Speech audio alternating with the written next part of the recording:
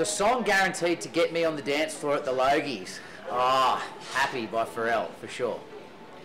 Next question is my favourite my favourite show as a kid was ah, Baywatch, I guess.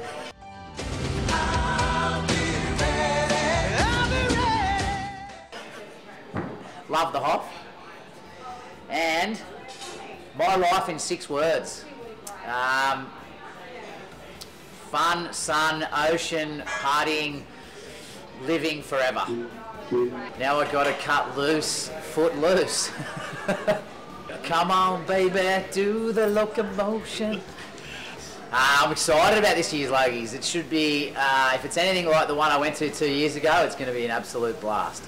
The one I went to two years ago, I ended up uh, having a wonderful evening, uh, danced the night away with Natasha Belling, I think, from Channel 10 at the Channel 10 after party and had a ball.